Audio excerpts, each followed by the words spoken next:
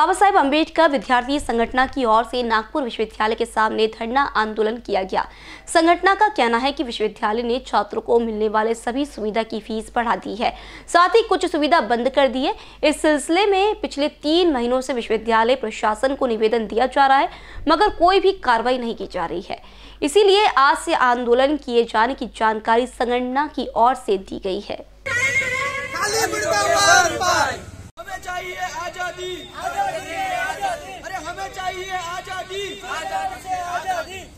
अरे वो लोगों को होंगे तो हमारा हक मागते। नहीं किसी से भीख मागते। शिक्षण आमच्या हक्काचं नाही कुणाच्या बापाचं शिक्षण आमच्या हक्काचं नाही कुणाच्या बापाचं हे आंदोलन जे आम्ही केलेलं आहे ते सर्वप्रथम तर या विद्यापीठाच्याच विद्यार्थ्यांसाठी आहे.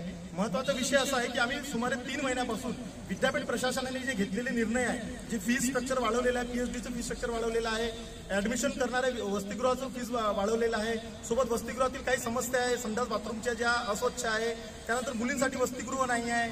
त्याच्यानंतर या विद्यापीठाअंतर्गत जे अडीचशे रुपयामध्ये विद्यार्थ्यांना जे एक्सटर्नल स्टुडंट विद्यार्थ्यांना एक बी ए बी कॉम आणि एम कॉम असं पीजी आणि युजीचं एज्युकेशन घेता येत होतं.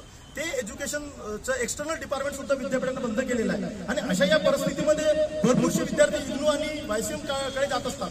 गरीब विद्यार्थ्यांकडे पाच ते सहा हजार रुपये नसतात. तर ते विद्यार्थी विद्यापीठाच्या एक्सटर्नल डिपार्टमेंट शिकत होते. त्यांच्याही एज्युकेशन या विद्यापीठाच्या प्रशासनाने बंद केलेलं आहे. मार्च महिन्यात हा निर्णय घेण्यात आलेला होता.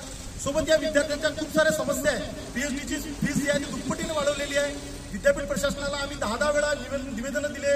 त्यांना आम्ही विनंती केली की आमचे हे प्रशासनामार्फत जे तुम्ही जे जाचक निर्णय घेतलेले आहे जे विद्यार्थ्यांच्या विरोधात म्हणजे तुम्ही कोरोनाच्या काळापासून विद्यार्थी एकतर पैशामुळे तो एकदम त्याची कंबर ग्रस्त आहे त्याची कंबर मोडलेली आहे. अशा परिस्थितीमध्ये जर तुम्ही विद्यापीठांच्या फी स्ट्रक्चर वाढवत असाल तर ते आमच्या विद्यार्थ्यांच्या हिताचं नाही आहे. याच्या विरोधात आम्ही निवेदनं दिले सर्व संघटनांनी दिले परंतु विद्यापीठ प्रशासनाने कुठलंही याच्यात कारवाई केलेली नाही.